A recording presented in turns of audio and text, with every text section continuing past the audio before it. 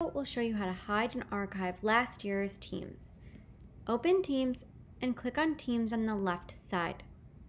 Locate your teams from last year, click on the three dots, and click Hide.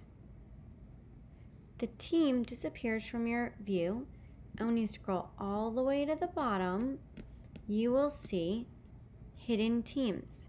When you click on the little arrow, all the teams that you've hidden will show up here so you, they're out of your view but you still have access to them.